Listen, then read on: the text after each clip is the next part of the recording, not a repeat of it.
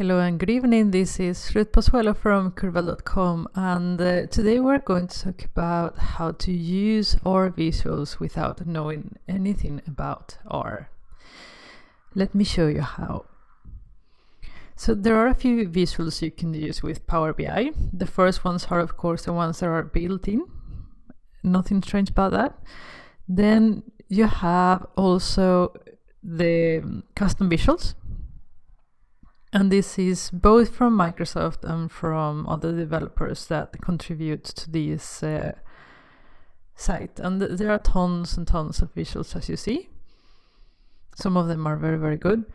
And Microsoft released, I'm not sure if it was in uh, September or October, a new visual library, which is called R Power Visuals. You can find it here.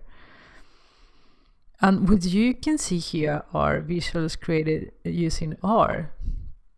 But uh, they are developed in a way that you don't need to know anything about R to use them. The only thing you need to do is to install R. And you can either follow this uh, link or I have a video on how to install R in Power BI. Either works.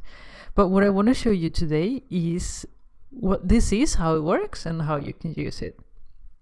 So for this example, I thought that we will use a decision tree.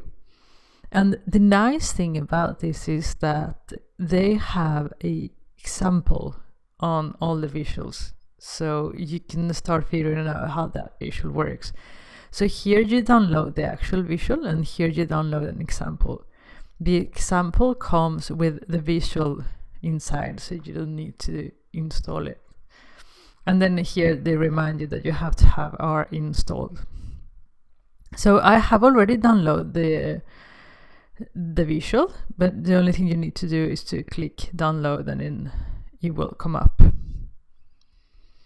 So let's look at how that works.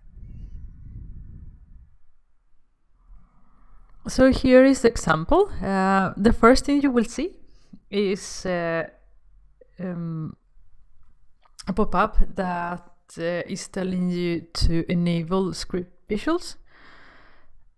You click enable.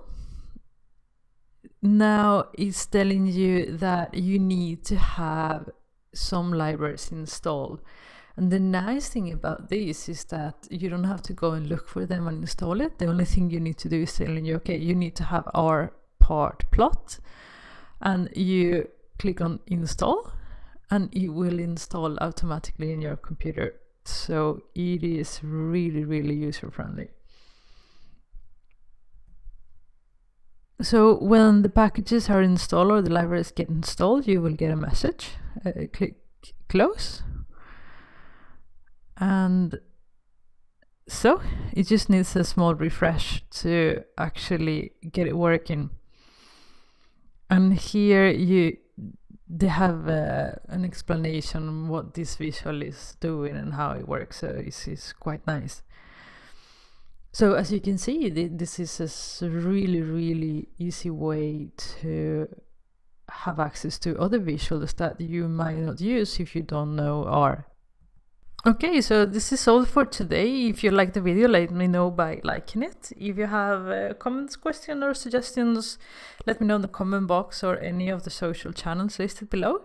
And uh, subscribe, I publish uh, Power BI videos every week. Have a nice evening. Bye.